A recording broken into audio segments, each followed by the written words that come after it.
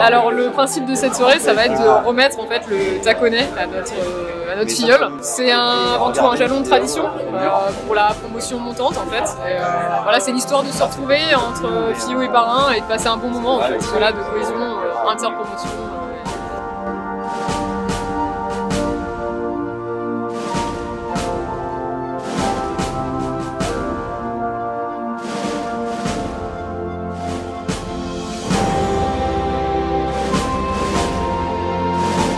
Ça fait quand même euh, des années que, je regarde les, les élèves de l'école avec, euh, avec la tétra. Donc la porter enfin, c'est une fierté.